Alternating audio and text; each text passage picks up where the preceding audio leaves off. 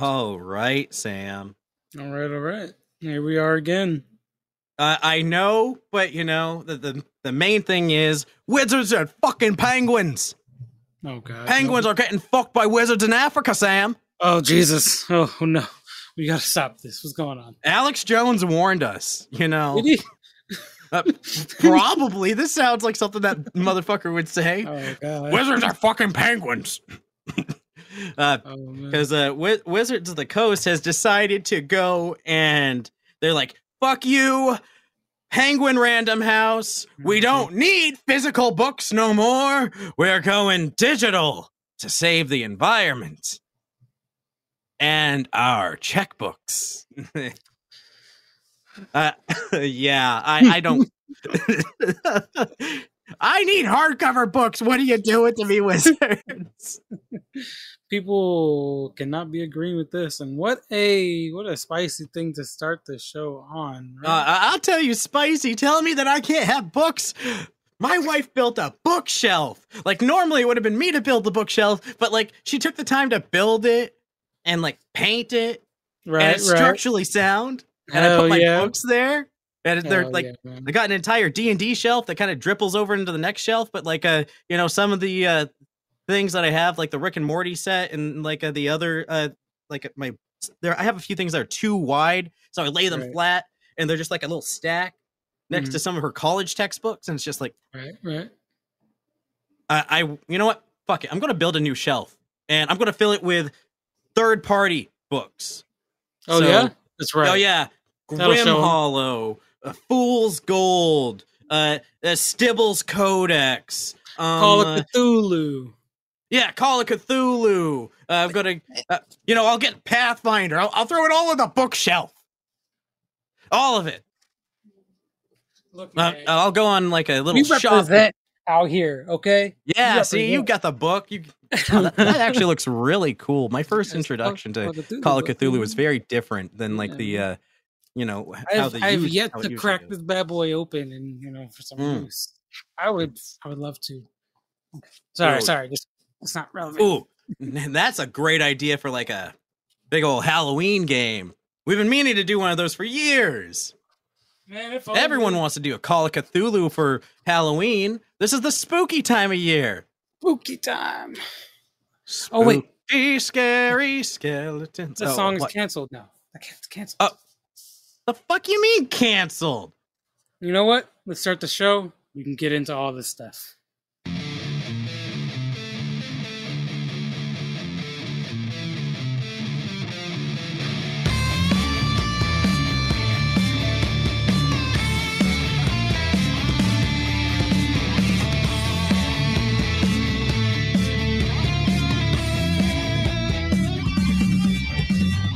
And welcome to Dungeons and Talk Shows, the talk show that brings you dungeons, news, and homebrews. Uh, You know, I, I forgot Sam, but I am your host, Orion. I'm your host Sam. Welcome back to another episode. Uh, w- one day, Sam, one day.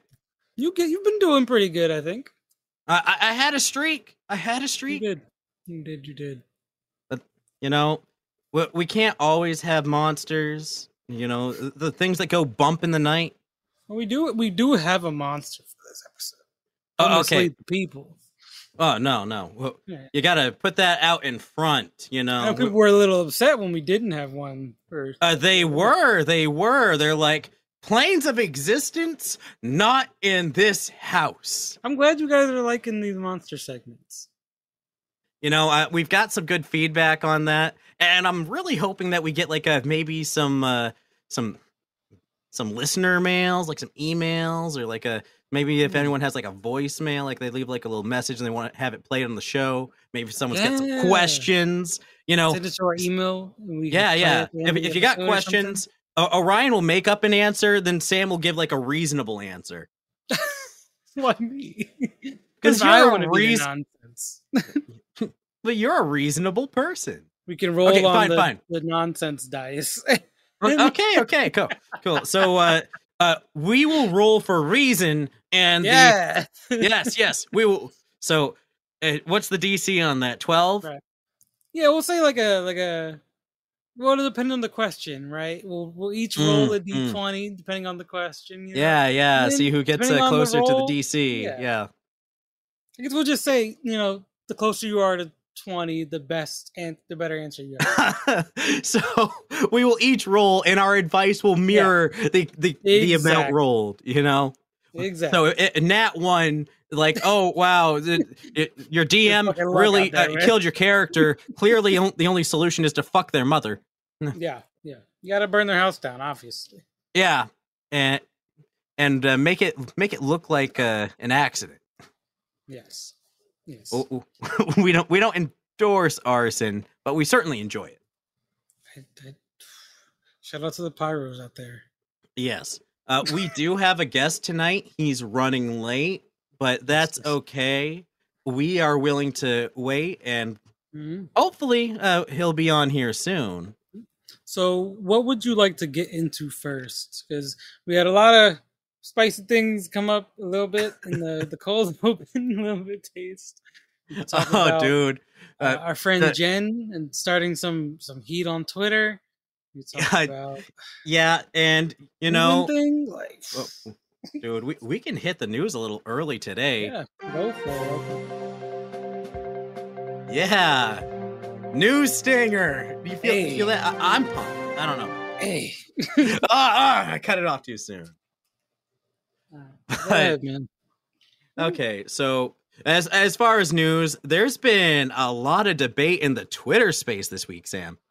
Yes, I've I've I personally saw it on Facebook. It- so it got imagine my surprise. dude. You don't even touch our Twitter, but like, uh, it went from Twitter to the Facebook to the Reddits, and it's Yeah, just like, on iPhone. I, I I'm feeling for Jen. She's just. I mean, I'm glad she's getting that word out there. Honestly, it's something Oh, yeah. that I didn't even think. bad publicity is still good publicity. So I mean, yeah. good on you, Jen, for marketing. And you know, I, I don't know what her goal is, but you I'm- know I'm what? Uh, she she seemed nice she- enough on the show. You know. Well, she was trying to, uh, you know, get a PSA out there, but I, I feel like, I mean, Mm. it's not something that I personally thought of. That doesn't mean that someone else couldn't think of it, you know, that way. Mm. And if that is the case, then like, you know, teach their own, I guess. You know. So I, I guess, uh, Sam, what i- what is this uh, big post that has uh, got people uh, riled up? Oh yeah, I, could, I, can, I guess I could pull up the actual post. I don't want us to become like a Uh, like a drama alert situation. a drama here. alert. uh, We do like Jen, so uh, she's all right. I, I think her heart's in the right place. I just uh, don't think uh, what I don't she's know if. I personally get it. Um, I mean, I just I I handle those kind of situations like you know differently as me personally, but you know I know some people are very sensitive when it comes to racial stuff, and I mean I I didn't wasn't even aware that like people could think of Halloween as you know being offensive towards like by just being in the spirit you know? I i never Uh, I- saw I it that way but i can understand i guess like let's see i'm i'm trying to like i'm scrolling through her thing and it's like i, I should have had this uh, uh yeah all right. Ready beforehand but then it's just like damn girl you, you spend too much time on twitter. You're posting all over the place. Ah, uh, but the, the the long and short of uh Oh, yeah yeah wh- whatever. Uh, the, Yeah. the long and short of it oh, yeah, is uh oh yeah. So she uh wanted to make it abundantly clear in, in this halloween month this year that Right. it's a you know saying spook or spooky during the halloween season is unacceptable end of story it's like well and you know, be aware that that it a lot could of be people way offensive yeah you know people don't like being told what is and isn't offensive you know and I'm, i mean it's, it's always a interesting topic to get into I, I guess. I mean, it, it seems like Mhm. it struck me as a weird hill to die on. I mean, fucking Disney Channel has their Halloween spooktacular for uh kid for four year olds. like i i mean i that's something that like i had never even like like I don't think I've ever heard anyone call you know somebody that in that way. Like I mean, me being black, especially, like I didn't even know that that was like a thing. But I mean, Yeah. not to say that it isn't a thing, you know, just because I haven't witnessed it. But, you well, know. you know what? Uh, at risk of me being wrong, I, I I'm always like, you know, the the Orion is very keen on finding out for sure. So I, I'm prepared to be wrong. I don't think it's a problem. So I'm going to ask a black man uh, if it's offensive. uh, Sam, is it offensive? Well, okay. So as far as I know, to be as politically correct as possible, the you know what she's referring to refers to the spook off uh, with the Tuskegee Airmen, you know, the black army pilots and stuff. So I don't know if people are taking it uh, specifically like racially offensive, or if it's like, oh, now you know, I'm seeing it as like an offense to them and like what Mm. they did. Where I think that's kind of like a like why like it doesn't have to be like that. Like I mean, well, you, you should. Well, like you, you cracked the oh. case wide open, Sam, right there. You said airmen, as in military. Who's Yeah. more notorious for roasting other parts of the military I than mean- people in the service? Have you ever hear like a, a Marine talk shit about the, the Navy, Air Force, and Army all in the same breath? And all have Oh. like very unique ways of shit talking them. It's just like, dude, they, So wait, this is interesting. I didn't know that this. Okay, so hold on. So there was a book and a movie called "The Spook Who Sat by the Door" by Sam Greenlee, which depicts a Hmm. man treated as a token black person. We all know what that is. Uh, when hired by the CIA. The second is a 2000s book and a 2003 movie called "The Human Stain" by Philip Roth. His novel tells a story of a professor at the New England College who is forced to resign after he calls two African American students. Okay. Okay. So I mean, That just sounds like hyper yeah. uh, contextualized like it, Yeah. you know like i- mean, most it's always touchy when it comes to like racial things, you know, especially with words, right? It they all Mm. kind of hit personally to anybody individually, you know. right right So it's always kind of it's hard to say, you know, especially it's like I'm sorry, Jen, but like you are kind of like a white woman, so like how would you even know? I can understand if you're trying to like just raise awareness, you know, maybe that like maybe this could be offensive to someone, to be careful saying it. yeah yeah like I don't know if it is. I guess it could be. uh, I, she- I appreciate think, you, you uh, know, looking out. I, I think what she uh, uh kind of where she put her foot in her mouth it wasn't the it could be offensive just saying it is end of story like yo. It feels like an out of the blue, like who are you to make that call? No offense, like uh dude. Uh, white women all over america want to make that call. I don't know. I I appreciate the effort, but yeah n- no one asked all right. So moving on. What is Yeah, what is this penguin thing? Okay, so moving on to real D and D news, not D and D new, not D and D adjacent people we've had on the show uh, and their controversies. I'm not which always a fan of drama, so especially like social media drama. Like, Uh, I- it be. you know what? I, I would agree. I'm not a fan of Mm. drama, but I do, however, find it hilarious it is pretty funny. because that's not the only drama that's been going on this week in the D and D Oh, sphere. absolutely not. Uh, Go off, man. No, no, hear me out. Hear me out. Yeah, How do you feel about weird wheelchairs in D and D? If someone wants, I don't see why not. I feel like it's such a rare thing. Like, who, who the fuck goes up to their DM and be like, "Hey, can I have a wheelchair?" Yeah, I feel like if you're asking, then there's probably a specific reason you want one. I don't see why not. You know, I could accommodate it, sure. uh, it could be a character arc. I feel like it Yeah. could be interesting. Um, but I feel like there's also there's two major connotations that come with it. Mm-hmm. One, uh, you you have someone that's in the game, right? Right, and uh, right? you you're, you got a player that comes up to you, hey, I want to play a guy in a wheelchair, and uh, the DM's like looks at them and their Right. ability to walk around, Mhm. and maybe you're slightly offended that this person that's able to walk wants to pretend to be a person in a wheelchair. Well, for me personally, I feel like honestly, it would kind of be what's what's the word here? It'd be a little more endearing, right? Because it's like Mm. huh, you would rather, you know, play from a perspective of someone who is, you know, excuse me, disabled, right? Than play I- I someone who mean- is well able bodied. You know, there must be a reason, right? So I I, mean, I think it's a you at least got my attention. Yeah, I I think it's in the same breath as a someone who wants to play a blind swordsman. you know? Yeah, right. uh, it's it's awesome playing a character that has this challenge, and Mhm. now in game you must As- overcome as long as you are always respectful about it. Yeah, for sure. Like, because like you could do yeah. this, and then you could still be disrespectful to people who are, you know. But I mean, you know, there's there's like a good way to do it. I think. I mean, if that's the if you're going to be disrespectful and that's just the humor of your table, power to you guys. Like, Oh whatever. well, yeah. If that's yeah, if yeah. it's That, that's your table. table. Do whatever you want, dude. Yeah, I Uh, wouldn't recommend you know being in a party with somebody who is actively in a wheelchair and being like, "Well, here's my character who is also in a wheelchair." that might come across a little differently. That that Like- might be tone deaf, but if you talk, Yeah. to- if if you have a friend at the table that's got a wheelchair Right. and you want to play a character that says a wheelchair, like, hey, let me experience a little bit of your struggle in Yeah. a game. I mean, shit. Like, what? Honestly, what's the difference between like someone who wants to be in a wheelchair and having a character with a prosthetic, right, or having Uh, a missing limb?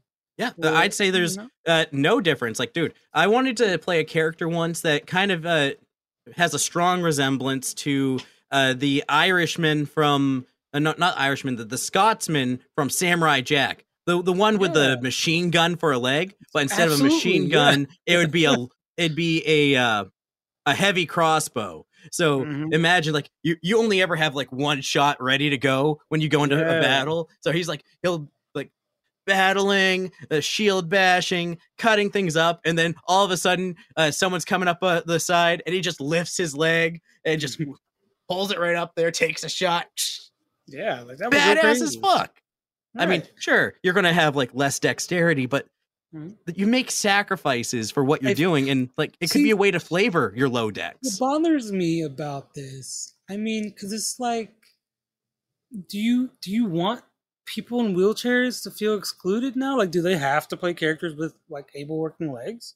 Like, Like, like now that doesn't feel. You know what I mean? Now that made it weird. Like, I I think it's one of those weird things where, uh, I think the culture is like you got the old culture of everyone's just like I'm gonna play what I want and it's gonna be like- fun, and then you got the you kind of the new like political uh, people that, are kind of like drifting in because uh, and of course they're gonna drift into the hobby because everything is now made political like uh, uh, everything all the yeah, time. I mean, it's kind of the same vibe as if you were like, you know, I like like you playing a Mm. character as a woman, right? If I wanted to play a character that was like gay, right? People be like, Yeah, oh, yeah. you can't play that character. You're not a woman.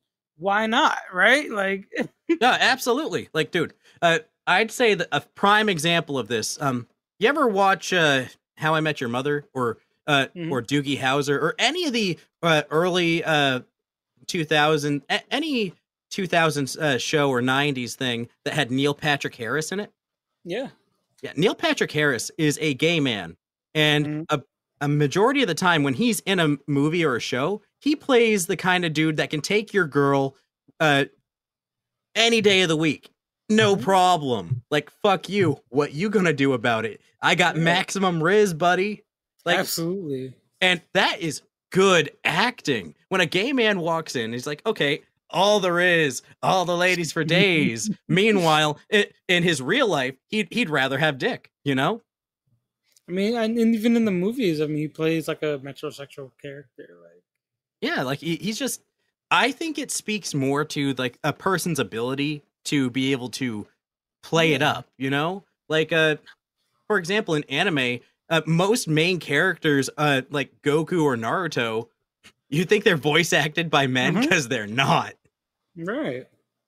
Honestly, because I I feel like in order to do those type of things to do it correctly, you have to have like a level of understanding that is like not only respectful, but it's like I don't know, it's like deeper than that, right? Because it's like you have to Hmm. understand what it's like to be to to embody what the struggle is like. And instead of being offended that these people want to like act, you know, with this disability, why don't you let them like be like, damn, bro, I appreciate you trying to understand what it's like to be me. Yeah, Like, like or what it's like to like make me feel powerful. You know what I mean? Yeah, I, mean, maybe, maybe that's the case of like, I, I don't. What do people want, bro? What do they want from people? What? I don't fucking know. Like, dude, nobody's perfect, and I think like it, it- it'd be the same as uh if I wanted to play a black person in D and D and you wanted to play a white dude. Like, it don't Like, fucking matter. Where where does it end if you start trying to cut it off with disability? Like, yeah, I people mean, be what they want to be. Like, it's a slippery slope, dude. Just let people play what they want to play, yeah. as long as it's not unreasonable. Yeah, as long as you're not hurting anybody, making anybody uncomfortable. If you're Yeah, in a, if you you're know. in a unique situation where like you're uncomfortable that someone is playing somebody in a wheelchair, that's cool, but that's a you problem. Like, like I'm like, Yeah, I mean- if, like I don't know, unless they're specifically like being offensive to people, they're just playing a game. Like I don't Uh, know. Once again, this uh, brings me back to uh, my thesis statement. Who asked? Yeah, I mean, this is kind of like a who asked episode. Like, honestly, have you ever heard of someone uh, having a wheelchair? Like, uh, okay, let's just throw out the wanting to overcome adversity. We got right. settings full of magic, teeming with it. You got magic spilling out of everything, and Mhm. you can't fucking heal your legs. Well, they absolutely could. I mean, and it could also be a world where the magic isn't, you know, the healing magic isn't that advanced, or it's not that, you know, active. Y- it could you know also like be, you know, maybe the character Yeah. prefers to be in the wheelchair, you know? Maybe, ma- like that could make Mhm. for an interesting character. Right. Or maybe it's like there is the magic in the world for that. Mhm. However, there's a major problem where it's like the real world healthcare system and Mhm. magic is not used to heal the sick and the poor. right. Like you have to have money to Mhm. be able to like, you know, See, that's why I feel like when when all these things, people are like, "Oh, this is racist in D and D. This is offensive." It's hard to even say that because it all depends on the world that it applies to. So, like, mm, how can you have like, you know, well, Drow if your DM says it's absurd, like, like- maybe that's because the DM runs the setting and they're like, dude, this doesn't Yeah. work. Like your your character being in a wheelchair, if to do to be that in my setting, you would have to want to. And isn't that kind of a dick thing to do to just actively sit out there in a wheelchair because you No. think it's cool? Like, don't thi- uh, you know what? That's that's I if they're fine, doing it but- in that way, you know. I suppose, but if like if for some reason, you know, and they have a good enough reason, be it, then why not? You know, It could be like that episode of Gumball where like they never wanted to get up out of their seat. So like when their family was in danger, they uh, hopped on a couple of rolly chairs like I'm sitting in right now and just I mean, kind of like scooch themselves all the way over there. because like my brain immediately goes to like like an artificer, you know, who is like now Ooh. turned this disability into like his fucking like his chair. You know what I Okay, mean? no, no, hear me out, hear me out. So you go like an artificer with a wheelchair, and you take that armored artificer mm-hmm. subclass. All of a sudden, you got a combat wheelchair with rocket Basically, a launchers and jet now, you know? boosters. So you know what I mean? I feel like there's there's like the there's no real downside to like playing. I don't know. if it's an artificer in a wheelchair, you know what? Fuck it. They were born without legs, and they started engineering how to deal with this shit. And like, that's cool. They got this fucking mecha wheelchair, and like, I think it- okay, okay, I- I'm hyped. I'm sold. Yeah, yes, I think you it can all play that in my depends game. on the situation, you know, like, and it depends on the DM. You know, everybody's different. Me personally, it would depend on why and what setting it's in. You know, Mm. for what reason. Like, Yeah, I, I think I'd be. I'm generally the same with games I run. It's like, Yeah. cool, pitch whatever you want to me, Mhm. but also make sure me it's on okay with it. the other players. Yeah, and sell Yeah. sell me on it. Because if like it doesn't matter if I think it's fine if my players are like, you know, I don't like that this athlete is playing a dude on crutches. Like, like okay, first of all, crutches? y'all need to check yourselves. like, because like, why does that bother you? I don't understand. Like, that'd be like, oh, I'm upset that Orion's playing a woman. Like, why? like, Yeah, I mean, I. uh, The thing is, I like playing female long as- characters as in video games. So like, this is kind of branching out for me.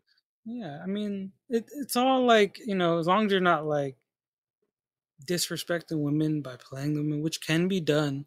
I feel like you're doing fine. None of the women in our party feel like you're disrespectful. So Yeah, like, what's the like harm? the Charlie's Angels up in here. right? They yeah, you're like the concubines, you know. So the traveling concubines. That kills Yeah, me every time. Just like we killed that guy. exactly, you guys definitely killed that guy. Why we're traveling concubines. Mhm. Uh, whoa, my, my lord has has really rewarded my my yes, he has. And he didn't know what you liked, so he sent the three of us because he wasn't sure. we're a sampling platter.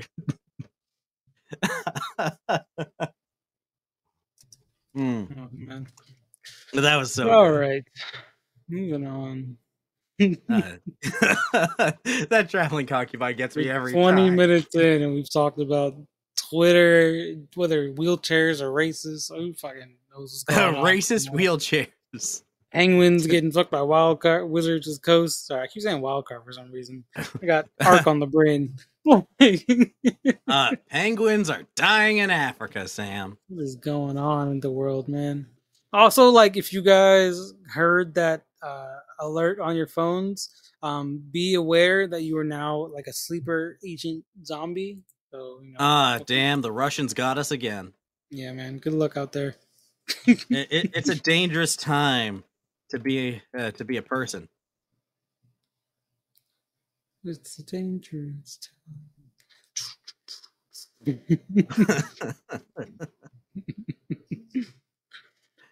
Hey, here's a quick question for you, Ryan. So I just saw someone ask this um, in like a comment section on like one of our discords, and you know, what Hmm. what is your favorite example of like a found family trope?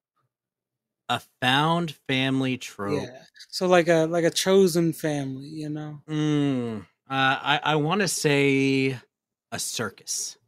circus. Yeah, because my brain immediately goes to like a Lilo and Stitch, you know. Oh yeah, yeah. Because like Yeah. Ohana means family, and that's like an adopted pet thing, and Yeah. that's cool and all. But at the same time, I am irritated with people who are all like, uh, "Hey, uh, my my animal's my family." Like, please, pet parents.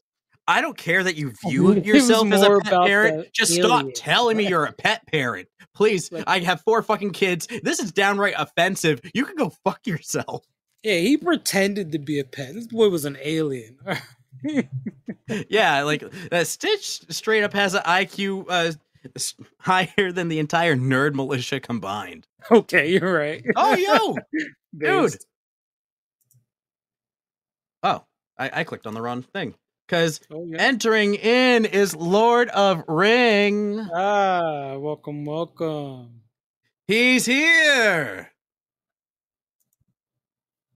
to have Welcome, welcome to the show. We have been rambling on about racism, wheelchairs, penguins getting fucked by wizards, and I it's a wild time, sir. But you're just in time. I'm sorry to our listeners. This episode has been a mess of filth already. Um,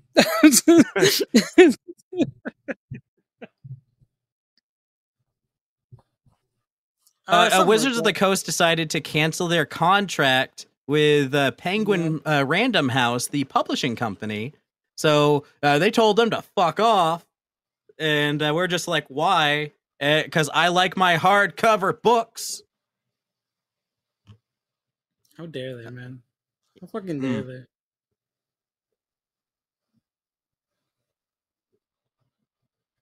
this has definitely been a popcorn episode, man. Ah, dude, There's there's tea to be time. spilled. there is.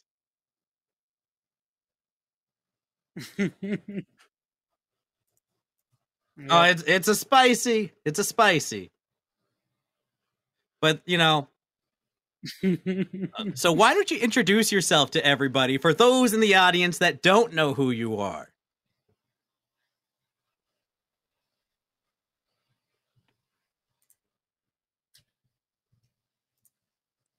I have made it.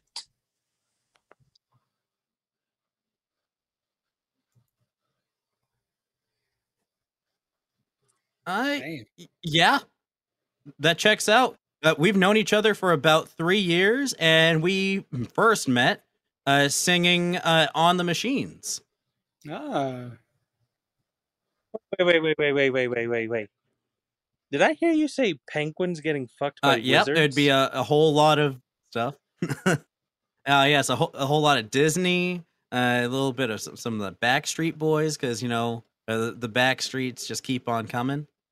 Uh, you know, they wouldn't let us have any uh, music or phones or anything because like You all this proprietary tech, and said they didn't that want people and taking it- pictures my- of all the uh, bugs that were to, getting into "Where's the the popcorn?" swabs at the COVID swab factory. So uh, like they didn't want us exposing that. Oh, right, right. You would never. Oh, well, this was the Well, height I'm of the glad- pandemic. I'm So, the In order to keep us from exposing all the dirty come in on practices that were going on episode. when uh, Puritan was uh, making all these swabs for everybody in the height of pandemic, uh, we It's weren't allowed to have phones on the uh, production floor. So while we were, uh, in order to distract ourselves for these ten-hour plus shifts, uh, we would sing So together. my name We- is so Lord like, of Ring. It, it helped entertain us as well as other people. You know, keep morale many up different because names. working machines and making swabs all day is fucking depressing. I've known Orion for pro- three, four years now. Uh, that's Yeah. because they knew that we would sing the whole time. The few times that we were together uh, was when uh, it would be like a, a weekend shift and just singing all the Yeah, time. we were- and when we, we- weren't we singing, be we'd be talking D and D and uh, Uh, nerd shit. acapella style. Uh, Make a man out of you from Mulan.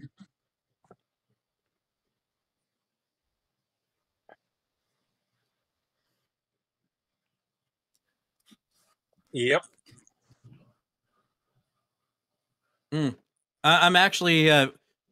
We've been talking about uh, starting some D and D parodies for the YouTube channel, so look forward to anyone who loves a good D and D parody. Look forward to seeing some of that from uh, myself and Lord of Ring.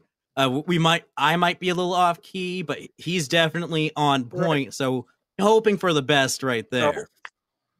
Nice.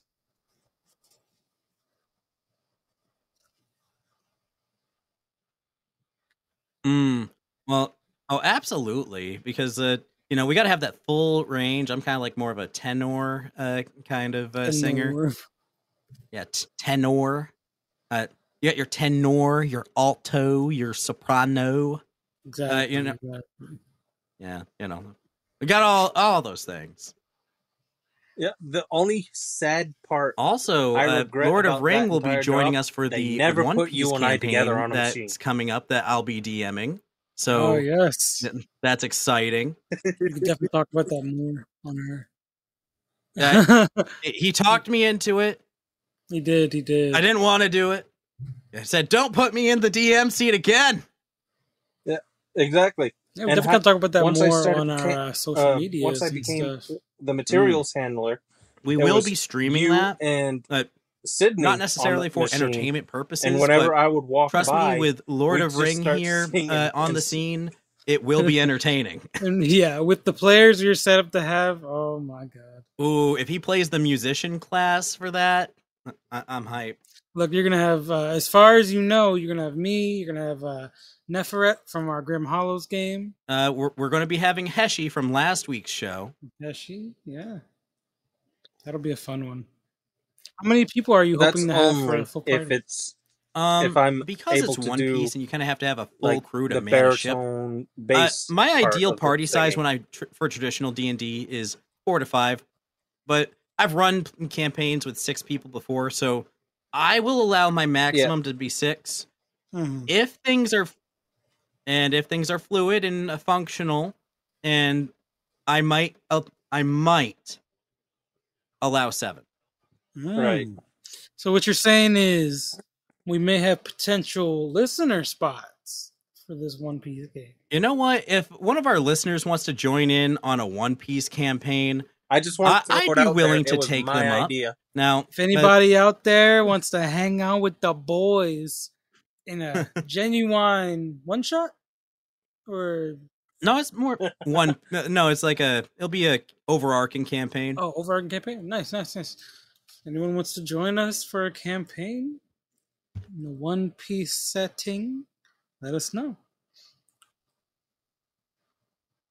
Yeah. Mhm.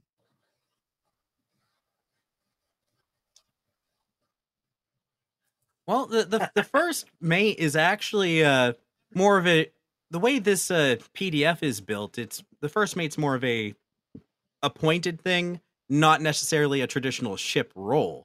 Because like uh, the, the ship roles come with It is gonna benefits be towards those skills.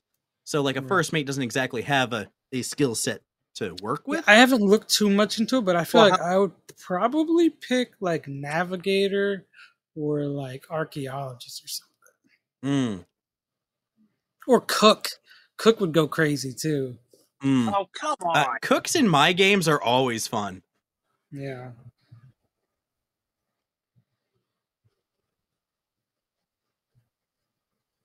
You you need Oh, yeah. Ooh, I some wanted heavy do- Brook inspiration there. See, Uh, I, I wonder if if anybody else is listening out there uh, is an artist, and you know, we would happily pay you. Um, you know, to get some Uh, art we made are our- known to do commission work uh, every now I would and then. love to have a commission made. I I have, I have an idea for my character to be sort of a uh, anglerfish fishman. Ooh, You know, yeah, buff, that's that's gonna strong be boy, cool looking features, kind of like a Ripjaws vibe Well, from I Ben know, I know Yeah. you need the cool. I, captain, I love know. it because Hit me up if you're interested. a cook, a navigator, I love it because Sam a is- doctor, a musician, he knows nothing about One. Piece, so he's Nope. going into it with fresh eyes. Not a damn thing, man. yes. Mhm. Yeah, something about the devil fruit. I know they can't really have them. Well, they can. It's just that Well, yeah, but they Huh. like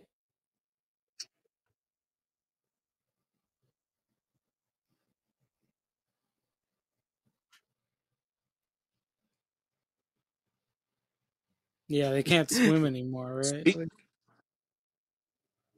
Yeah, but just because, yeah, but just I've because heard. Orion says and you know, uh, I'd be good at the musician, I'm definitely. I definitely don't know choosing what that musician. even like. What, how good because those even I'm going to be the humming I- swordsman of the crew. I I don't know. oh yeah, yeah. Hmm.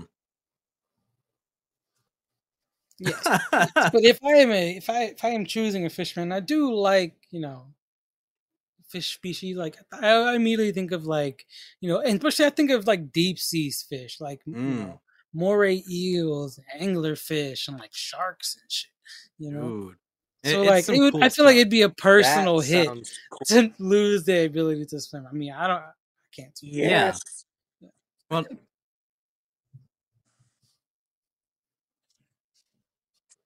I don't know who that is. Uh, Jinbei. uh, he's yeah, he's this uh, So, he- whale shark uh, Okay, fish so, man. Uh, he- Sam, he's cool. He kind of like mans the helm uh, for, for the a crew. fishman. Uh, Mm. real, he's he's a real like a monk bruiser of a they- motherfucker. he just comes in. They can't, Uh, big like- blue boy. but Yeah, big blue They boy. can He, still he's breathe he can water, throw so shoulder throw uh, defeats the water at purpose of- people. purpose Like, of he's like, okay, I'm just gonna But take this fishman, if current and just throw it. devil and, like, fruit, just all that's going to demolish happen it. is Fucking he'll just sink. done. Interesting. Yeah, I think I was gonna go with the. Uh, They can't swim. So if you eat a Mm. devil fruit and you're a fishman and you're over the Marianas Trench, you're going seven miles down. A robot. What? All, all I'm Uh, saying he doesn't. that no, no, he all he hasn't seen that if any devil of it. Fruits were real. I'd be perfectly fine. Like I said, uh, 'Cause I am he afraid of knows the ocean. nothing I about have One Piece, so it's gonna it's gonna be fun.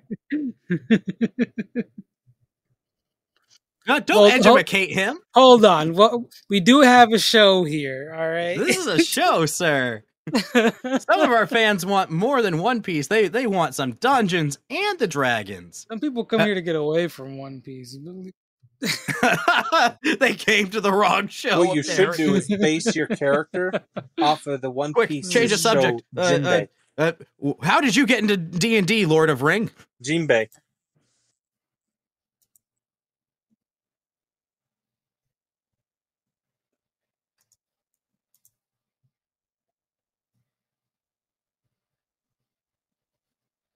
He's a real G.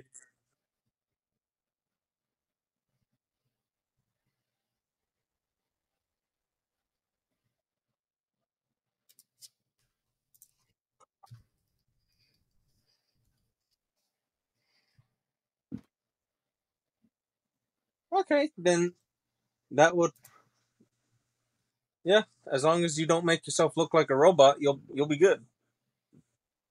Hmm. It's it Franky Oh yeah. from. Have you got that part? Oh,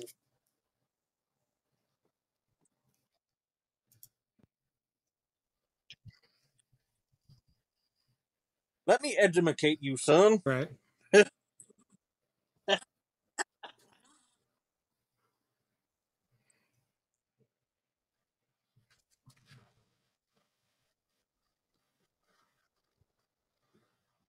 There's there are dragons.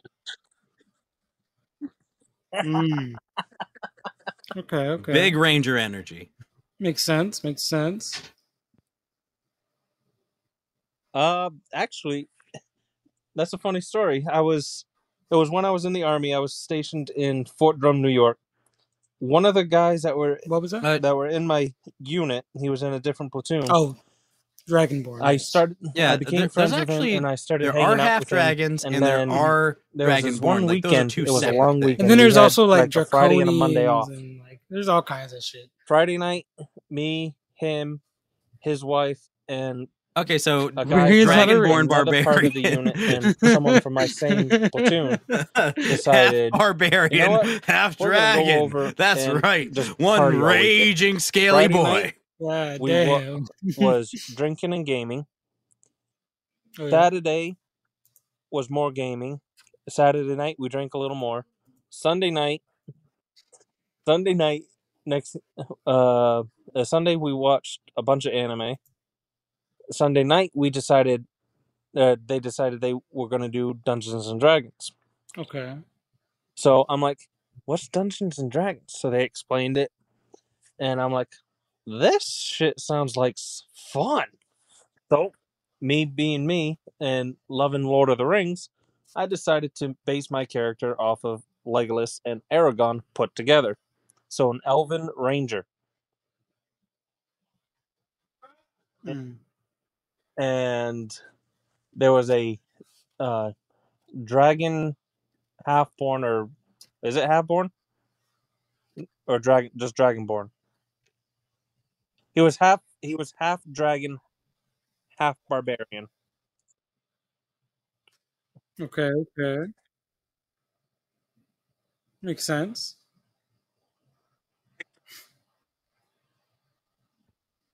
Well, all I know is he was half dragon, half barbarian.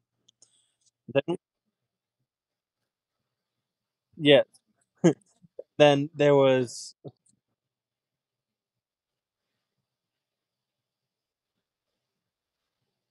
Oh yeah, oh yeah. But it gets better. It gets better.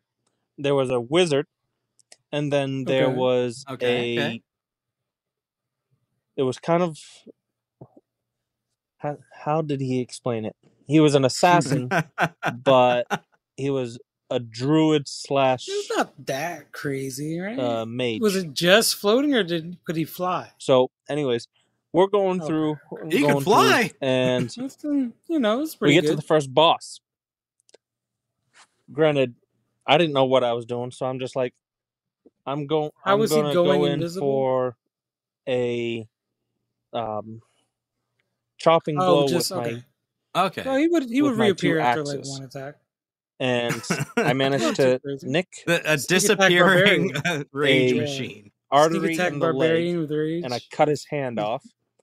And then the wizard decides to make the draconian yeah, it's pretty creepy. barbarian invisible That's always a really good combo. while he is Uh, it's a hilarious combo, really, and I I think that's great to have as like an early And or first D and D experience because like it the- shows you like because this the the absurdity fight goes on of the hobby, and like it, it certainly is three or four turns, Right. and um, Mm, at one point My first exposure was they uh, decide very, to very make different. the barbarian invisible and float. I heard the DM heard that and he's go. like, "Oh God." He didn't. He he didn't know how to respond.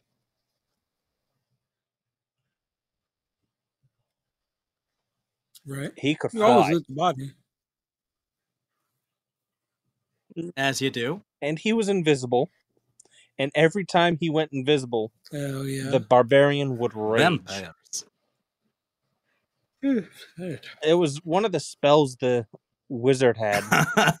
oh, like uh, like uh, Craven Edge from uh, the Vox Right. Machina. But the fact Huh. Pretty classic the idea. That- that's a very different comparison than what I was going to say. Oh, is it? Just the Yeah, fact that that- it was a what the soul was barbarian turning is. invisible and I was then gonna, I was gonna compare after, it or going to a berserk. cock It was like, because, like, it, the more blood, Yeah. it, the bigger it gets. I, It's just a dick shaped sword.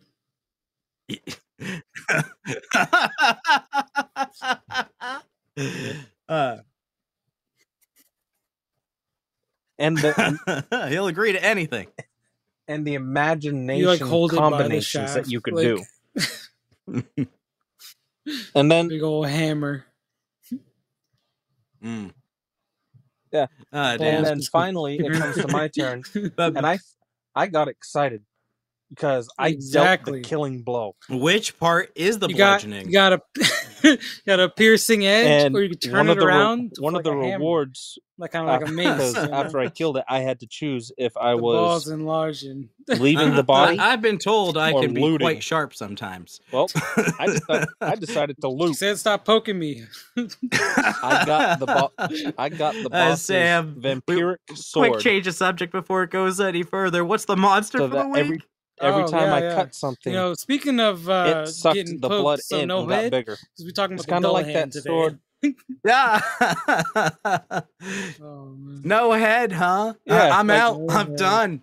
Like that Fuck this shit. Damn. I'm going home. Like the My mom says we can't be friends no more.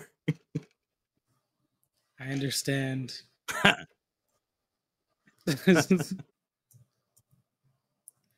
um, I need an adult. All right. well, I feel What's like a a lot of people. Sam? No, Yeah, no, I feel like a lot no, of people at no, least no, know no. what a Dullahan is, right? A headless horseman, as a as if you say that, and I'm like, yeah, I'm like, no, night, no. you know, holding his Mm. fucking his head in one hand and a severed spine in the other. You know, a Mm. horrifying creature rooted deep in the Celtic and Irish folklore. Jesus. The Dullahan is often portrayed, you know, as I said, as a headless horseman, Wait, riding which a black horse, which and part's carrying the the, head bludgeoning? one arm. the sack? Like a football. yes, yes, exactly. Yeah, yeah. th- that's the one. I am going to mention that a little bit later, but yeah, Sleepy Hollow is a prime example. Oh of, God. you know, the headless horseman.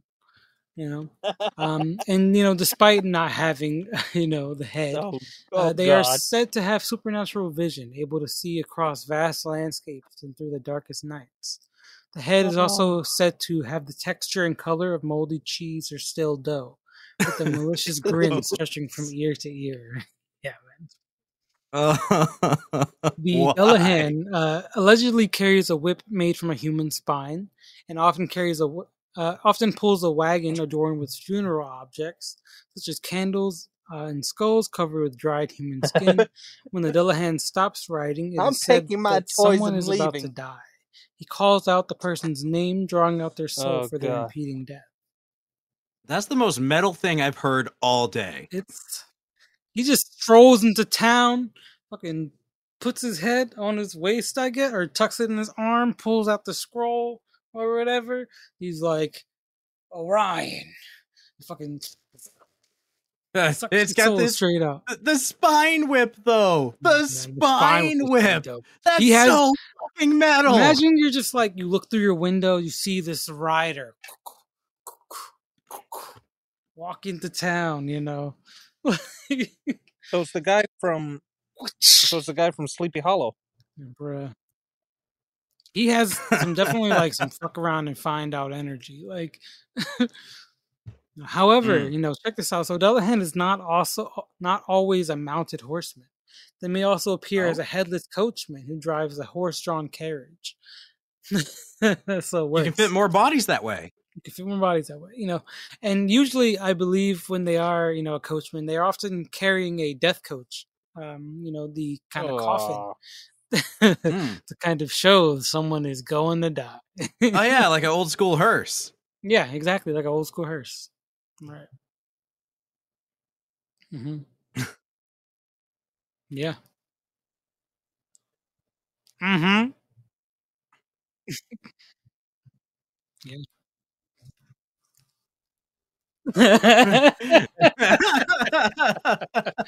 Yeah, 'cause I I, would also love believe to you have know, a the the made Dullahan out- is known to just kind of like walk into town, you know. oh shit! Dressed Did they in, like, have the an dark episode like that in. Supernatural? Uh, I'm sorry, I didn't mean to cut you so, off. I was just like, No, I'm pretty sure they did.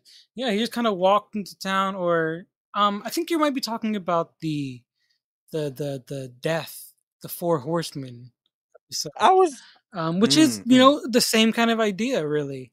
You know, he is a horseman that kind of embodies you know death. Um, yeah. I'd lock all the doors, Mm. put salt around Sorry, you can't say every that. entrance. I'd go full supernatural. yeah. it's probably the one we were talking about.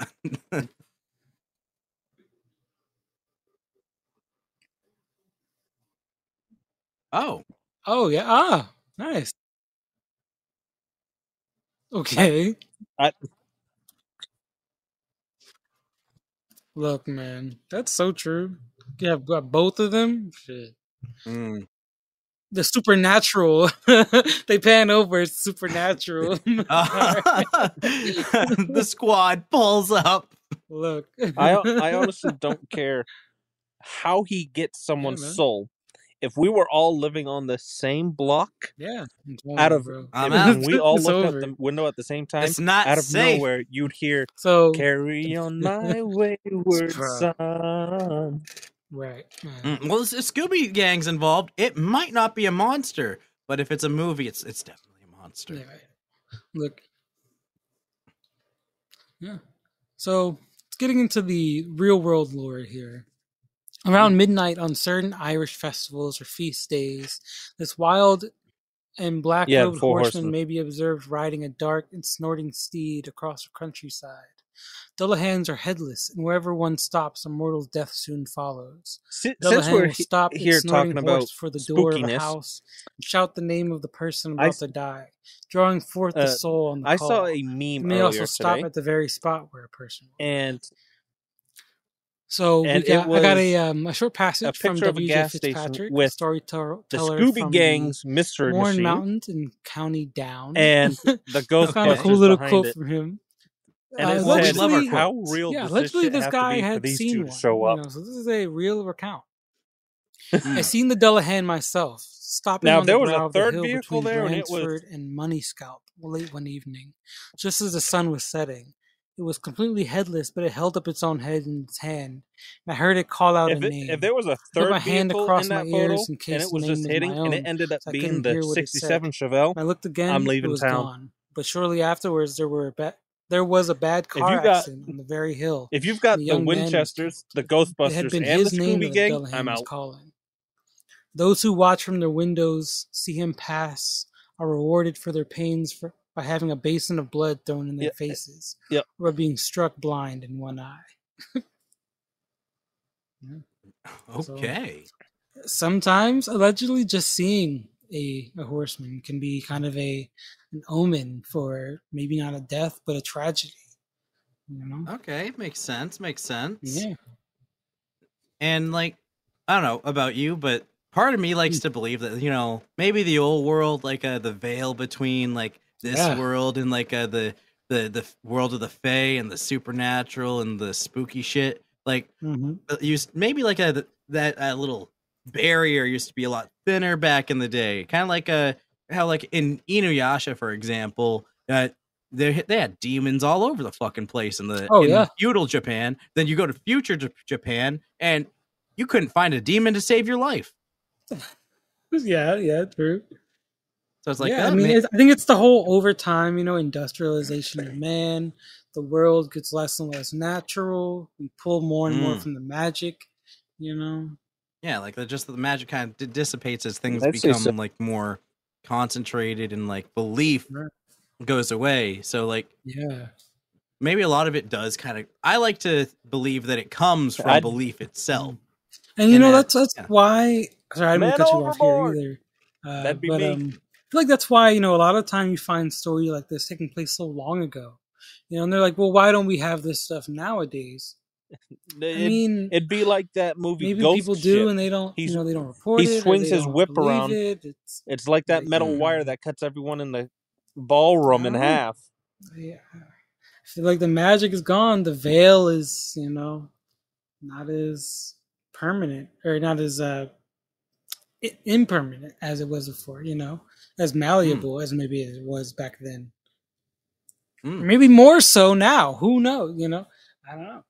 All right, all right, here here's a fun theory. If we're going to dive into those kind of ideas, Yeah. what if like uh you know there's a section of like a two different dimensions and the, Mm. there's like some overlap, and over time as I'm the done. expansion of our universe uh, goes Mhm. out, and like we're just kind of going in a different direction, so that overlap is no longer overlapping the way that it was. I could At see that, that. at yeah. that point, yeah, you know, turn in my like uh, dice. uh, all those uh, supernatural things like no longer is present, and it's like okay, well, we got stories of dragons for centuries, like.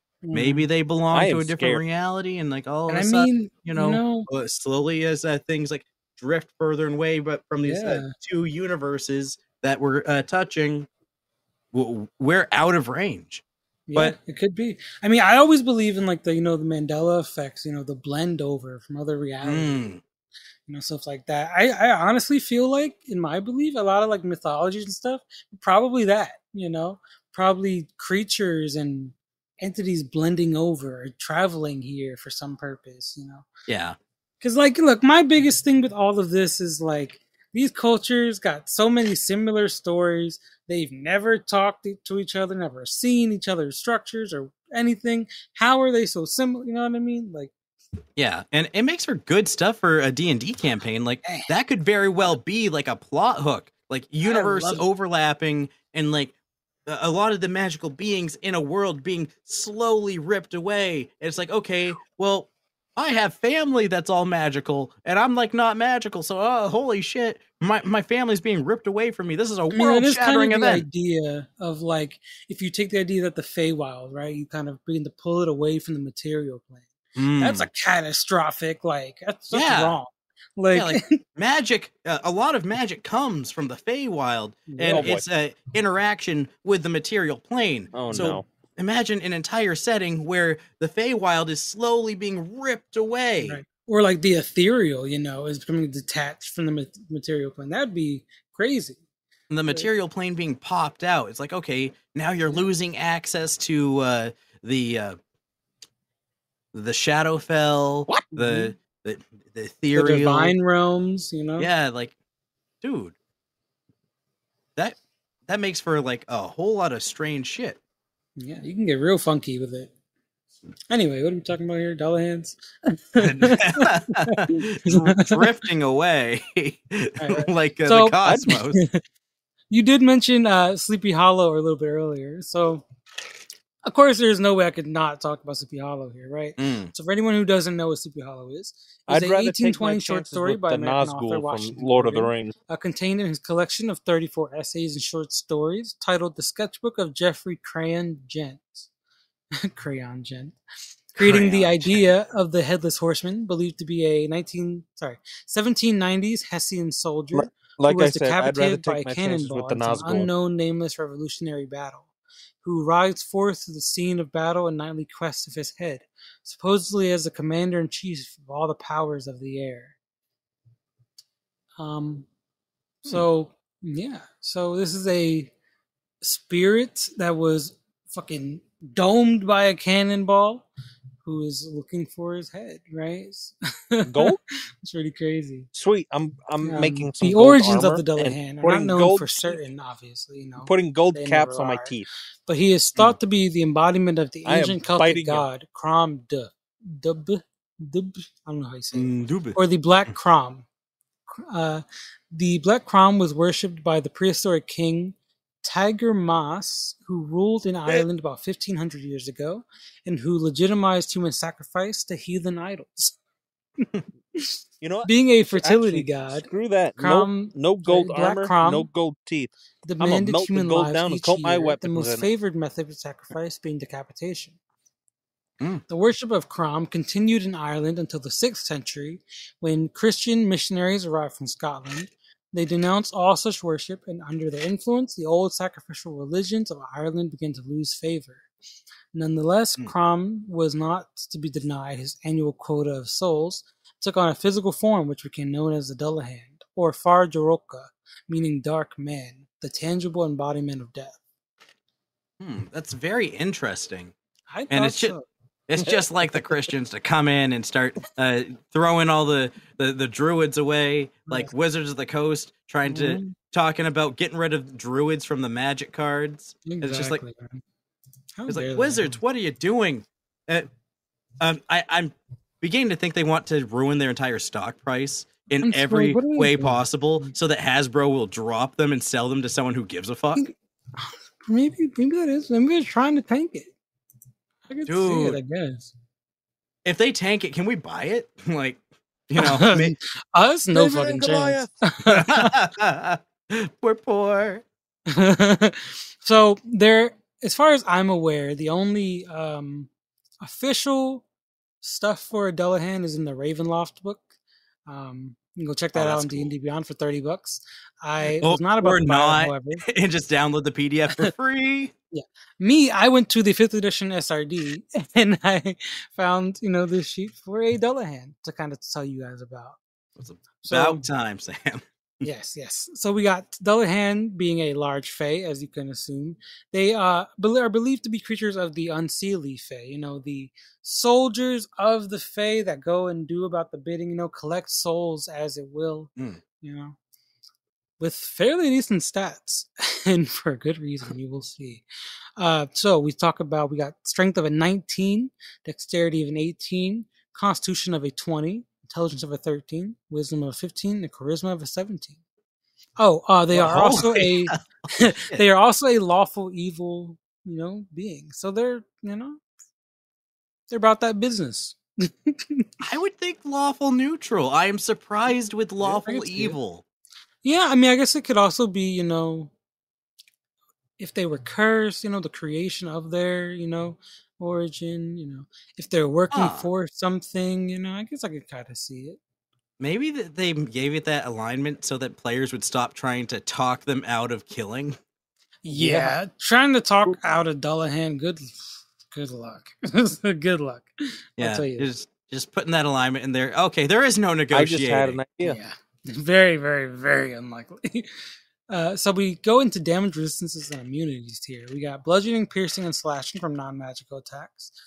You know, and the immunity to necrotic. We also got the condition immunities with charmed, right. exhaustion, frightened, uh, true sight of sixty feet, speaks common, elvish, and sylvan. I and is actually have a CR idea. eleven. It's a Kind, strong kind of off topic, but yeah, that's a and that's going back easily to some the one tier. piece Uh, instead like, for Mhm. someone who decides to capping be out, like uh, like a sniper you could probably with instead a tier of two using party a pistol, Yeah. if a you, if they were really strong handle it, but this is like a tier three kind of enemy. sling. Yeah, I mean, wait till you get into the uh, the the feats here. So we got baleful glare. When a creature can see the eyes of a Dullahan, severed head. See the eyes of Dullahan's severed head starts its turn within 30 feet of the Dullahan. Dullahan can force That's it to make a. DC 17 Wisdom saving throw. If it is not incapacitated, on a failed save, the creature is frightened until the start of its turn. All you gotta do is While knock him frightened, out. the creature must take the dash action and move away from the Dullahan by the safest available route.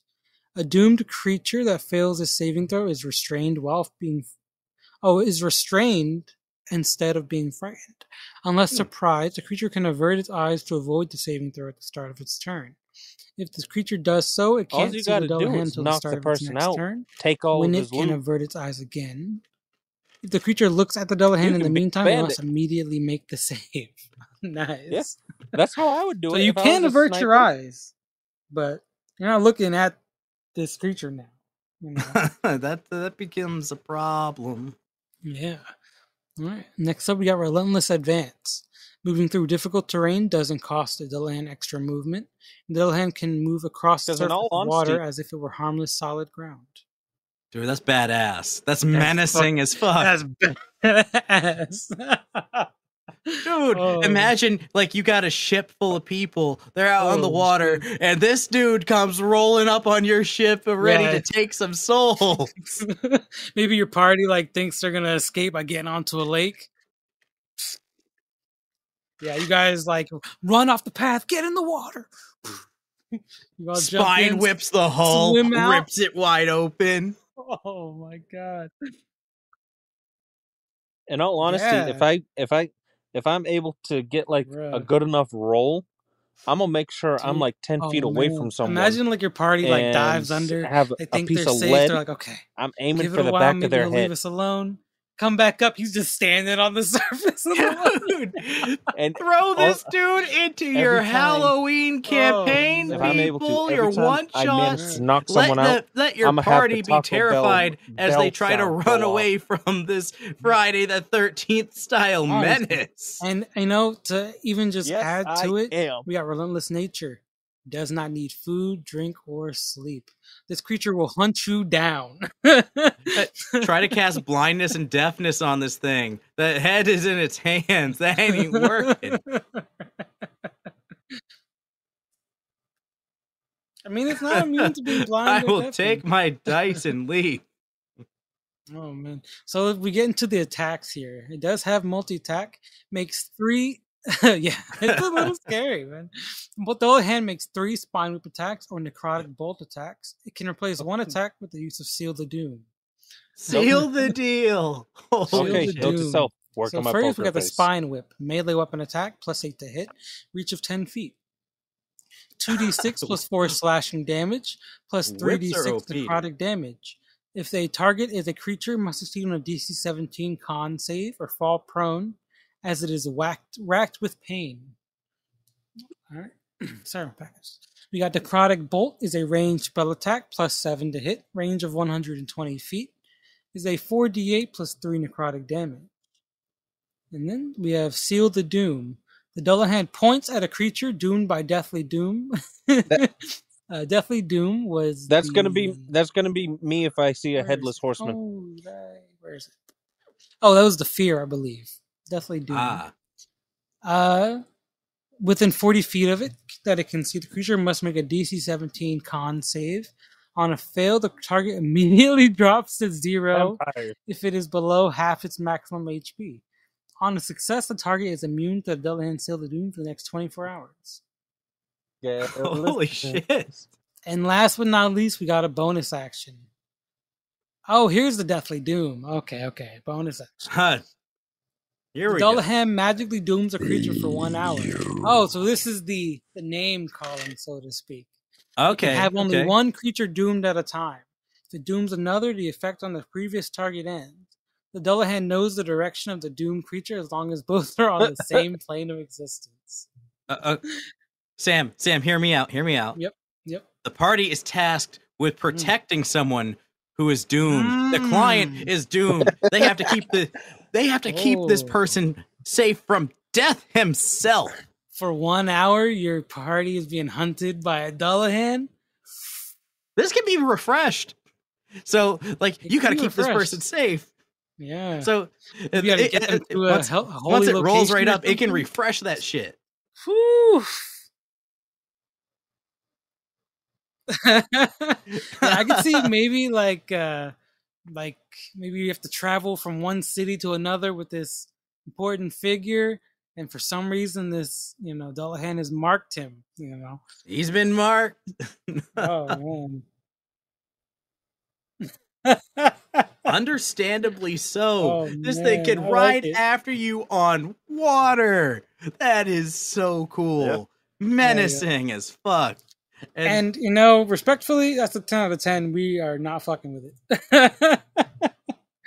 But i will let you guys know the weakness of a dullahan is Uh, gold. it's gold. gold. It's gold. Yeah. You're And here I the way? come with a I, I roll think that for just kind of that changes the context entirely if the players figure out that the weakness is gold, seeing as Hmm. most uh, D and D campaigns have too much gold. Yeah. You start throwing money at it. One point of bludgeoning damage. Roll for- no, a roll for intelligence. that in your and a roll sling for and literal, smoke it. liter- Yeah. uh, There you go. I can't say it.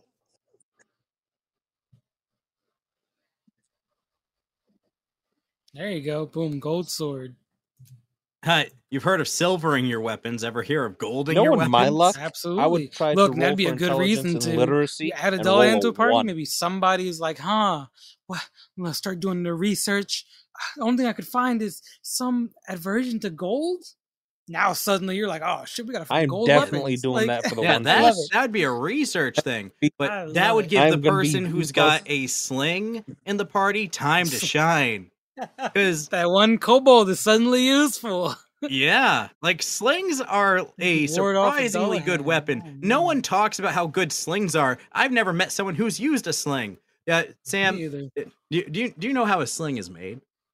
Made? It's just like yeah, I'm like gonna a, be just, the like, most illiterate, a little- stick and illiteral, some rope and, illiteral. like, No, it's, you can literally just like take a couple leather thongs. You take a little uh, little pocket of leather, and then you just like you get it all kind of like balanced out.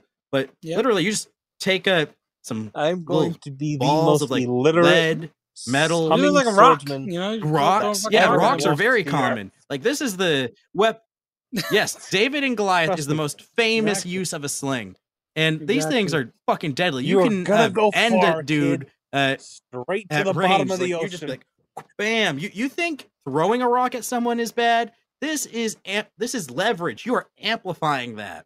True. So th- this is the equivalent of being uh, stabbed or hit with a fucking hammer. Like in D and D, uh, uh, your typical hammer does a D4 of damage. This is, does a D4 of damage at range, which doesn't sound like much, but the concept that you can improvise your ammo, be like, okay, we're going to take a Yeah. couple uh, gold coins, like kind of like uh, get them together, and D4 boom, budget.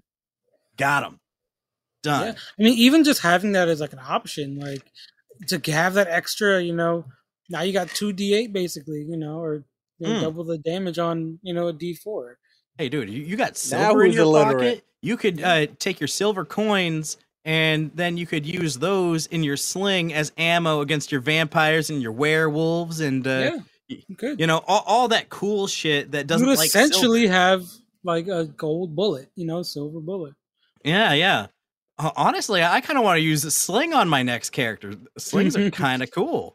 You'd have like a, a bag full of like different kind of balls, and you got like brass bearings, silver bearings, gold bearings, Uh, lead shot's pretty good because lead is really heavy, like gold. iron bearings for like ghosts and shit. Mm, yeah, you you could have everything. Like Yeah. okay, we got we got magic ones, we got silver ones, we got Explosive gold. ones. Yeah, you can go off. Uh, that's what. Yeah, I, I Yeah. actually homebrewed a. Uh, uh, there's a type of uh, crossbow that uh, functions the same as a sling, Hmm. and it, it's called a stone throw crossbow. So you could literally just take like rocks and stuff, just like a sling, but Oh, it would yeah. have better range and more power. So this would be a great reason to have one of those too. You know. Hmm. Let's hear it. Let's hear it.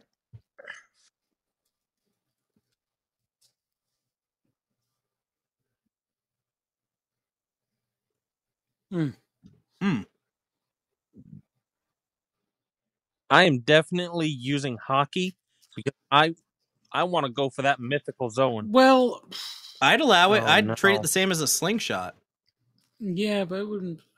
I, I my concern would be doing enough damage. Like, there's a damage threshold, right? You can only do so much with this one.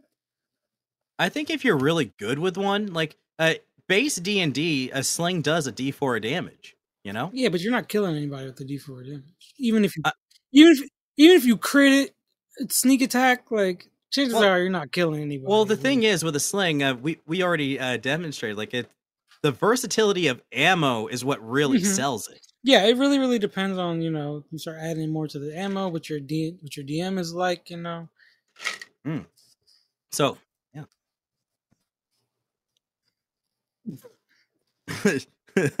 knock the musician out, take his loot. Sorry. I mean, AC to knock someone out with the sling would be kind of tough. And what's the range of a sling? Like thirty feet, maybe twenty feet? Uh, actually, let's uh look into it. Actually, I don't know. sling. I'm looking this shit up right now. Yeah, yeah. Oh, the Roll Twenty Compendium. That that's reliable. So that's a, a range of 30 to 120 feet. Oh, okay. That's actually surprising. What the heck? It's a simple weapon. Anybody can use it. Like I said, a D4. So it, it's in the same uh, threshold as like daggers and hammers and Mhm. you know small end uh, stuff like that. But the versatility of the ammo that you can use and the It doesn't count as a, uh, a thrown weapon, right? Um a thrown weapon no. proficiency and stuff. Would it no, be it's, it's just a ranged weapon. It's the range? Okay. Gotcha. Gotcha.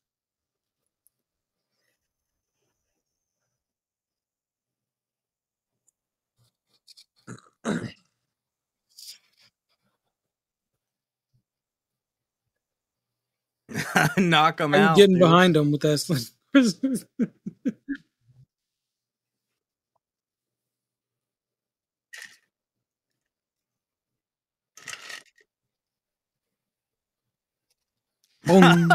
He's gonna come to this campaign with a soundboard, people.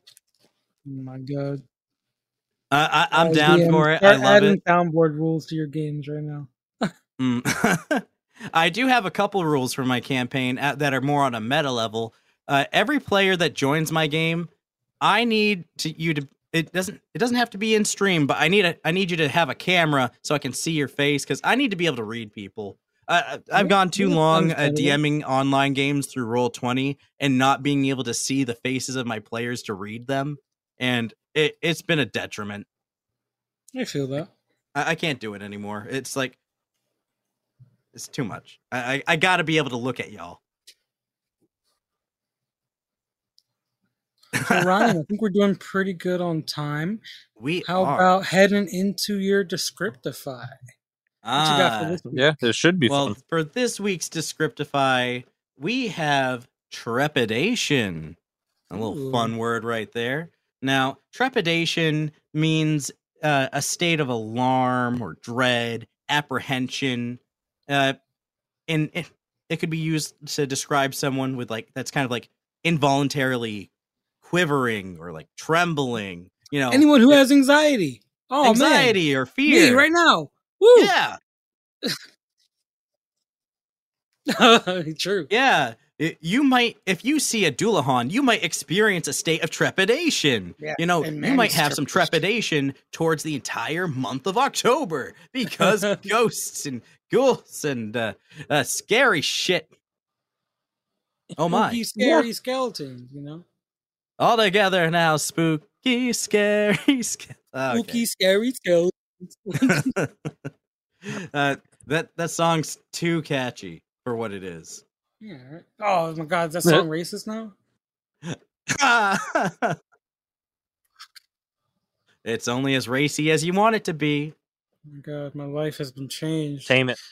If I if I if I've been liking that song my entire life, am I racist?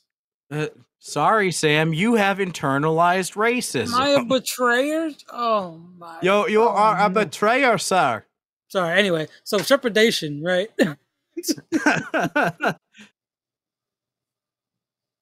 yeah, it, it's one of those things where this is a particularly good word if you're trying to portray a character that had an NPC that's got a big vocabulary. Is like Mm. I was like, okay, you want to have uh, these NPCs with uh, that that ten dollar word set, you know? Mhm. What your Also, NPCs think- are saying kind of Okay. does a lot, you know? Really conveys uh, their level of intelligence. Hmm. Yeah, and it kind of like showing trepidation is like a specific kind of emotion too. And to like display that to somebody shows like a Mm. special kind of fear, you know? Yeah. Like, like a troubled kind of fear. Yeah. Like I like I'm deeply worried. Like Exactly. I like that. I like that a lot, actually. Yeah, or you could just uh, have a character be like, Oh, I do say I do not. I am not experiencing any qualms or trepidation with the Mhm. with the deal that we have uh, set forth. Uh, all we must do is sign right here. Yes, and you. Do you have any uh, qualms with the the deal? No. Tr- hey. yes. Make an intelligence check. oh yeah. Ah, fuck. Can I make a roll for uh, illiteracy?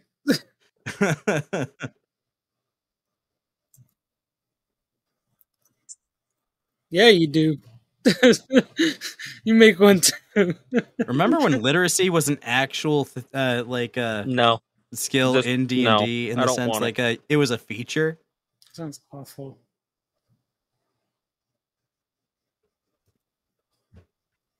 Well, like you you could choose not to have a literate character and be like, okay, that shows up like, oh yeah, and on my sheet my character is illiterate. Your character's gonna be illiterate. Uh, illiterate. Just, Oh, actually, that my could work. You know, some illiterate uh, dude that's uh, from an island. He's just spent Look, his whole life hunting squirrels with a sling. Be careful. You don't want to appropriate anybody by you know Hey, portraying to a- somebody who's illiterate. Uh, to appropriate is to appreciate. Well, that's what they say. Until you get appropriated. You- Could be nearly headless. He's Look, off he's to doing a it. great He's doing he's it. In, oh he's man! in character. Holy shit! He's lost a method actor, already. people. Jesus Christ!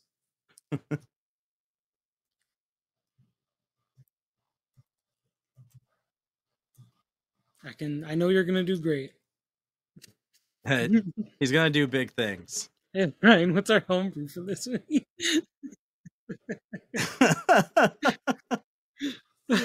Straight to the top. Oh, we got to move into the homebrew. oh man! Generic realm, generic realm, lots of fun, excellent. Ah, yes, it's always fun in the generic realms. And this week in the generic realms, Sam, I I have something uh, special to bring to everybody here. We do love that here. And uh, it is the potion uh, pitcher feat, uh, brought to us by the Goose Quill. There, I got that set up on screen there. I don't know if you can see that, Sam, but I can't read. uh, well, I'll read it for you. Yeah, yeah. I'm. I've, I'm already been illiterate. Hey, wait a minute. Is this the? Wait, who made the art for this? Wait a minute. Uh, I like let's this. see. This also The reminds artwork- me of like uh, Oh, Legends of Runeterra. If anybody plays that. Oh yeah, th- this shit looks great. Uh, Yeah, the looks artwork good. is by uh, Jelena Kevik. Uh, I can't I pronounce like that last one, so I'm not. I'm gonna Holy try. shit. Uh, Djurjevic? Jadar- Very Well, Holy we are illiterate. Look at this next one. Oh, I'm sorry. I don't mean to make fun of your names. Uh, Krish, uh, Krish Kinter. Uh, uh, this is clearly like uh, some kind I of like uh, like Russian German area kind of names. yeah, yeah. All right, go No, on. not well. Whoever y'all are and however you say your names, this is some great stuff. I I, I like it. Oh, this like- seems like something that would work really well for like Like uh, oh, th- this character is just beautiful to look at. I love like all this potion things. They're just kind of this is definitely a I would take for my plague doctor. Oh, absolutely. And if someone wants to use this in my game, they absolutely can because I allow uh, feats from any part of 5e because this is going to be a 5e campaign. Oh, read what it does. Well, yeah, everybody gets to start uh, with uh, either a devil fruit, a haki, or a feat of their choice. I think I'm gonna just pick a feat. Wait, what's a haki? What the hell? Is Uh, haki? haki is a it, it's like chi. Okay. Gotcha. So- gotcha. But going into the potion pitcher feat, yeah, Uh, I'll read it off here. You have learned to create specialized vials that allow you to use potions or poisons on creatures from a distance. As a result, you gain the following benefits. You gain proficiency with alchemist supplies. Using alchemist supplies, you can transform a number of potions or poisons equal to your proficiency bonus into splash potions over the course of a long rest. Splash Mm. potions may be thrown at a target within 40 feet uh, using a bonus action.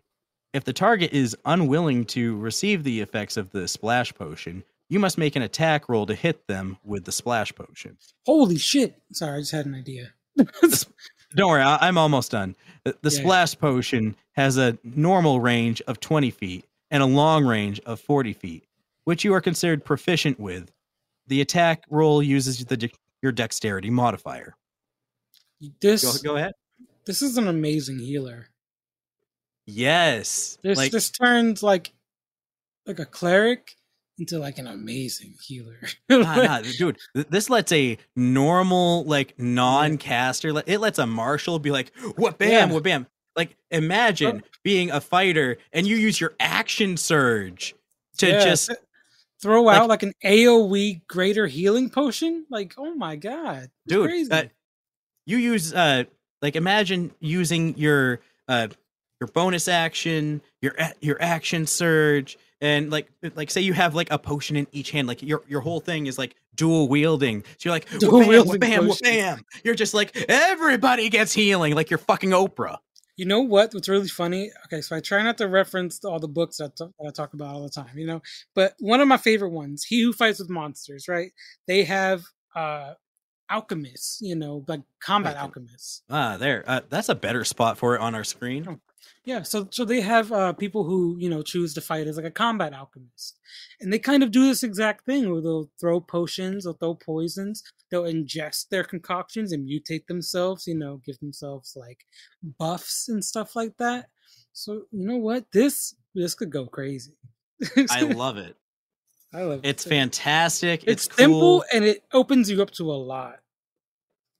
I did talk to uh this person about coming on the show. So The goose Uh, yeah, the Goose Quill it lives in Europe. So in a couple weeks, we're going to have Goose Quill on the show, and that's going to be a 4 p.m. show for us because Hmm. uh, time difference. Like we've had, we usually have to, uh, you know, adjust for our European guests because the Nerd Mhm. Militia is friends to the European, apparently. Like, yes, yes. like Though we both guests from all over. reside in the uh, eastern United States.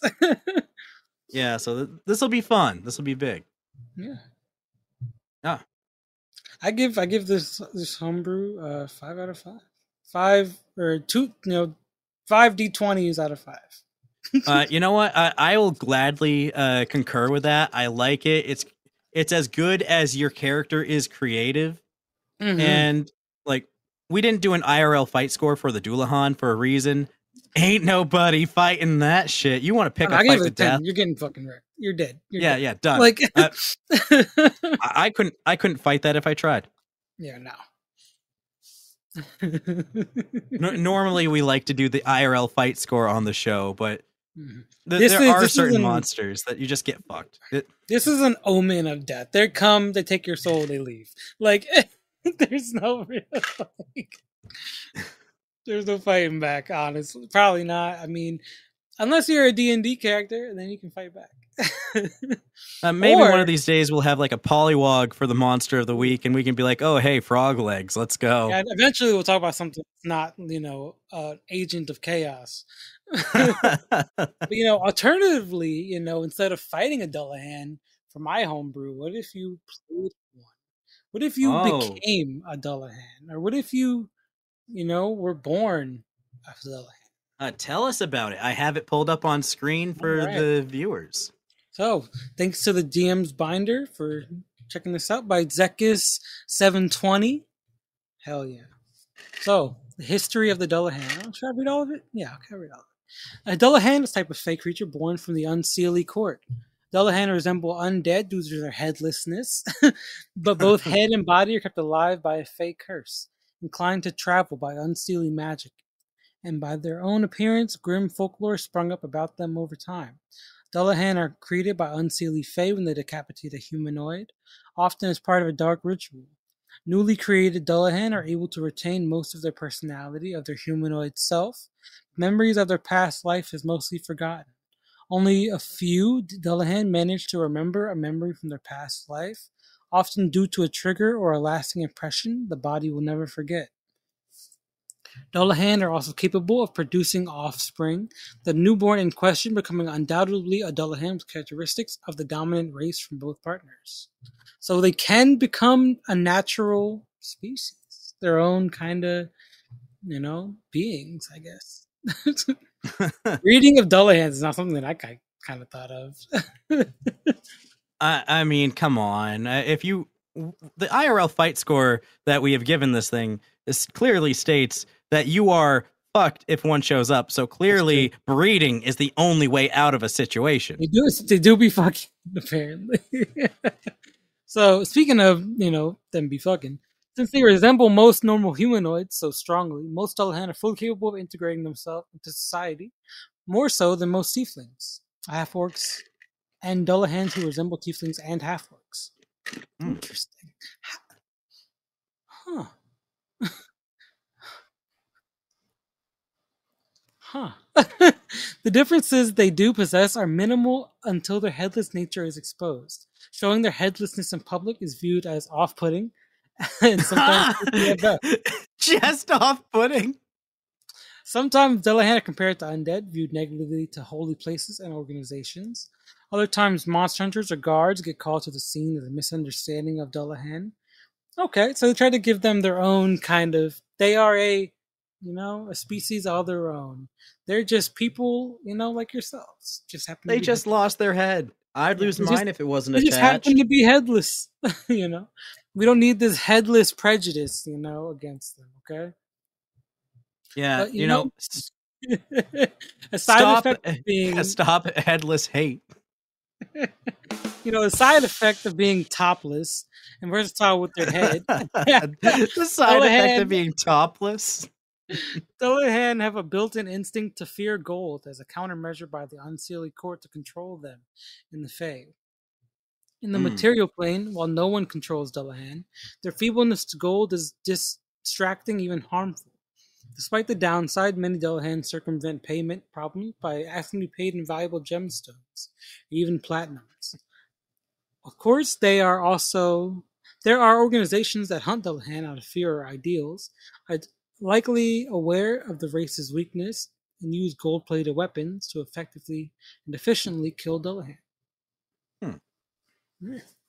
You could end a Dullahan with uh, some uh, gold, uh, bra- some gold uh, knuckle dusters. You know, Oh yeah. boom. This is interesting. You know, having their charisma increased by two and have one ability score of the choice increased by one. That's not probably not what I would choose, but you. Hmm. 'Cause I wonder if they are mainly casters and if they become, you know, like a like a charisma caster, like a like a sorcerer, I believe, or charisma Uh, caster. something like that. Sure. Yeah. I don't know.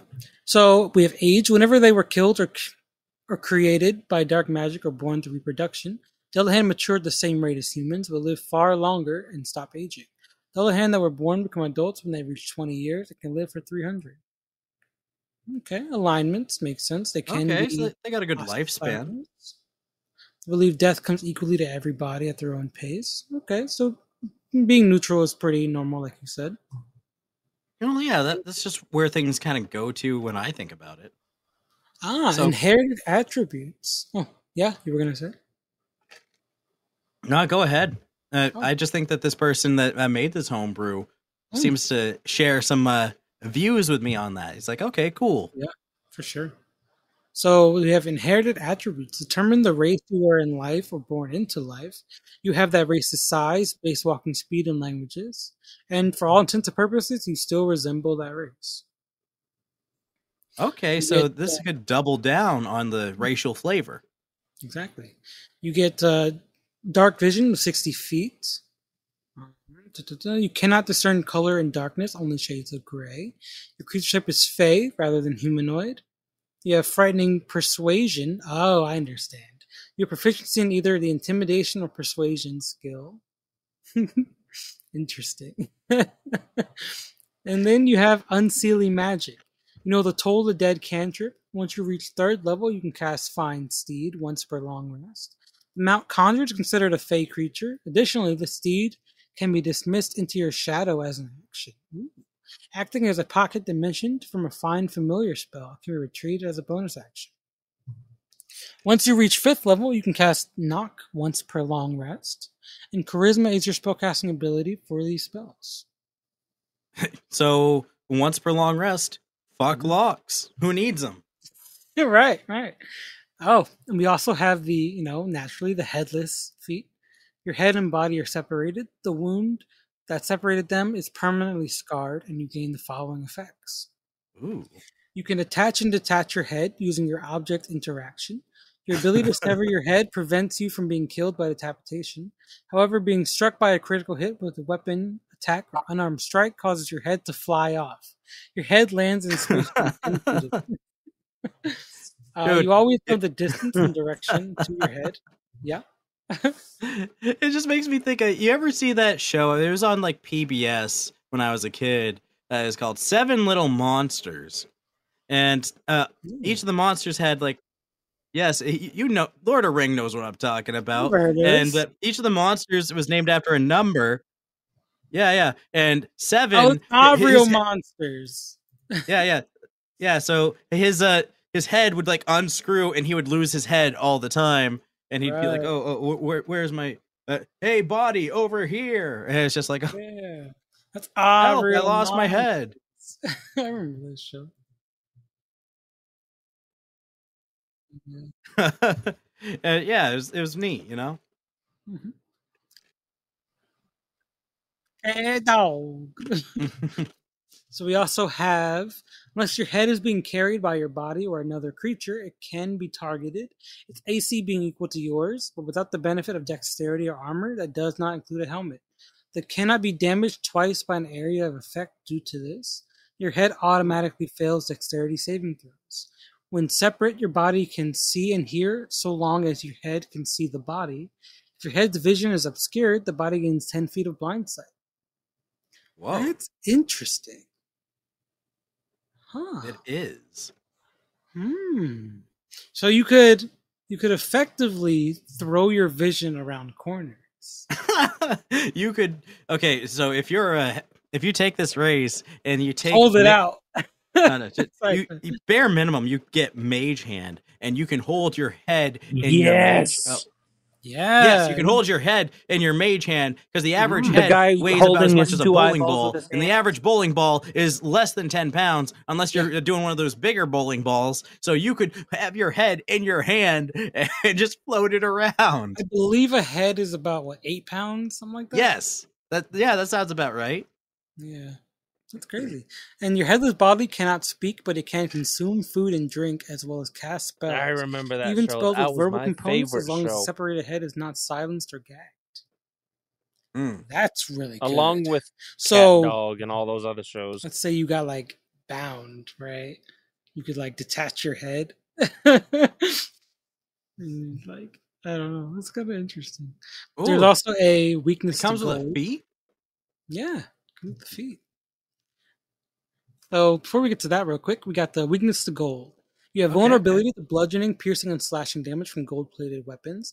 If you are carrying or touching anything made of gold, make a DC 15 con save or release the item. That's it. okay Yeah, and it, you do have a racial feat, transplant consciousness. Now that already like I'm Hmm. drawn in. Yeah. So I think this is the last but not least on this page. The body of a Dullahan is a mysterious curse that remains with plenty of secrets for one to manipulate and discover. One such ability has to become someone else entirely.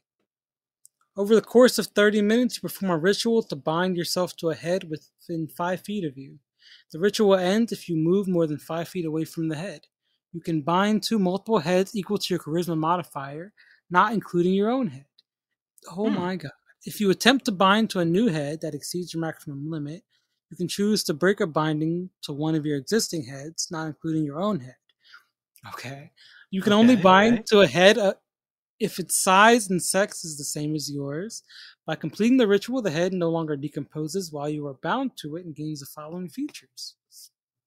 You can spend 30 minutes to transfer your consciousness to a different head. You can do this during a short rest if applicable. Doing so changes the skin's The head skin's pigment, eye, and hair color to match your existing body and head. Huh. Alternatively, you can choose for your body to match the pigment of the current head. Oh, This you have like a, very disguise. advanced. This is a very Oh! advanced disguise self. Interesting. You gain insight into the general characteristics of the head's life, allowing you to mimic the person in both voice and mannerisms. You gain advantage on charisma. Oh my god, I understand everything now. Move aside, changelings. You've been replaced. Holy shit. You just have a bag full of heads. You're like, oh, I'm gonna be a gonna be a policeman today. you gotta like, hey, that's Oh, actually a good use for that spell that you can use to stop things from decomposing. Yeah, true. You'd have to spam it, but damn, like that'd be a that's a whole lot right there. It's interesting. What an interesting way to do that. I like that a lot. I- Imagine being able to change your class based on the head that you're using. Oh my god, if only. You know what? uh, It, I I might allow it if a if a character made a compelling argument. That'd be tough. I'd say you could have like a So- couple. And like you have like only until the heads decompose. Like Mm. And that's heavily dependent on the heads that you have. yeah. Yeah, I'd be like I'd probably and I would probably say like you can't have any more. Like if you find a way to preserve like up to like three or whatever, you can have like three and then like no more. Yeah. But you know, I would purposely decam- decapitate a boss. just- Yeah. Yeah, he'd be like, Oh man, I wanna body. you start collecting heads, Neferet would have a ball. oh yeah, Neferet would love this shit. Uh, That's so our let's druid House let's see what we got here for who put this together. We got like a whole credit section. Oh yes, yes, a whole credits. Just click on this again. Sorry, I closed the link. So we got Zekis for fine tuning and personal touches. Got Cat Eon on Reddit for creating the idea and traits. Jester Nice. Masquerade on Reddit for offering a new perspective.